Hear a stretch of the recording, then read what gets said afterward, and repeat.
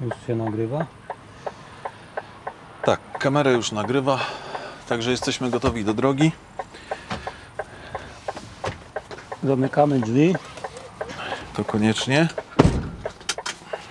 ustawiamy sobie fotele Fotelik ustawimy. ze skórzaną tapicerką. Ależ, tak to ja lubię. Perforacja, żeby się nie kleiła do pleców. Podłokietniki regulujemy sobie wysokość. Idealnie. Tak. Podłokietniki możemy sobie wyregulować. Teraz jest dobrze. Jak Ci się podoba Kierownica. pozycja do jazdy? Idealnie. Na szczęście nie jest tak jak w typowej osobówce, aczkolwiek wykończenie teraz e, tych samochodów wygląda tak naprawdę tak jak w osobówkach Po- luksusowych. Po, porządnej klasy. porządnej klasy osobówka.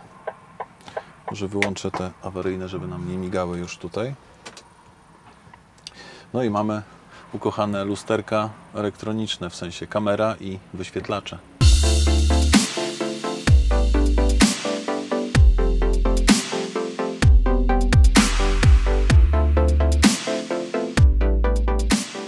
XG Plus to jeden z flagowych modeli DAFA. Oprócz wydłużonego o 16 cm przodu, tylną część kabiny w stosunku do standardowej wersji wydłużono o 33 cm, co gwarantuje kierowcy niezrównaną przestrzeń do pracy, życia i snu.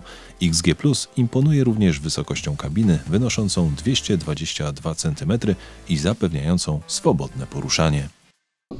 Kabinę ma naprawdę przestronną. Być może w czasie jazdy nie jest to aż tak ważne, ale gdyby za kierownicą zasiadł jakiś kierowca koszykarz, to zapewne doceniłby to, że może odsunąć maksymalnie fotel, a nawet wychylić oparcie y, maksymalnie do tyłu i nie będzie to y, kolidowało z leżanką za fotelem.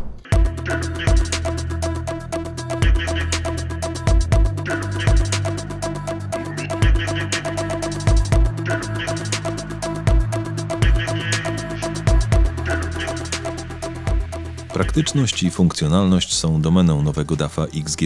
Dzięki specjalnie zaprojektowanym ukośnym schodkom kierowca w łatwy sposób może zająć miejsce w kabinie. We wnętrzu jest faktycznie jak w limuzynie klasy premium. Szaro-czarne wykończenie z drewnopodobnymi wstawkami nadaje wyrafinowanego wyglądu. Nowoczesna deska rozdzielcza, czytelne zegary oraz poręczne rozmieszczenie przycisków sprawiają, że obsługa urządzeń pokładowych jest intuicyjna a kiedy kierowca poczuje się zmęczony, odpowiedni wypoczynek zapewni jemu szerokie łóżko z pełnym sterowaniem elektrycznym. I utrzymuje prędkość 85 km na godzinę. Chwilowe zużycie 11,2 litra. A teraz z góreczki jedziemy, to jest 10, 9.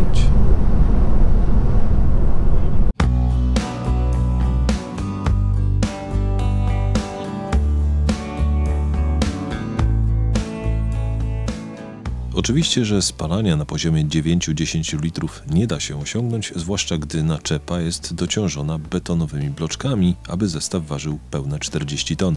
Jednak Zbyszek jest na tyle wyrafinowanym kierowcą, że niejednokrotnie osiągnął zużycie paliwa poniżej 20 litrów. Tak było i tym razem, gdy nie schodząc poniżej 80 km na godzinę, uzyskał wynik 18,5 litra. Silnik o mocy ponad 480 koni e, spokojnie daje radę z 40-tonowym zestawem, zwłaszcza, że jeździmy e, w centralnej Polsce. E, Nie wiem jak to byłoby w górach, być może wtedy przydałby się mocniejszy silnik. Ciekawe jest to, że ten silnik pracuje na relatywnie wolnych obrotach. Przy 80 km na godzinę mamy około 900 obrotów na minutę. No to sprzyja oszczędnej jeździe.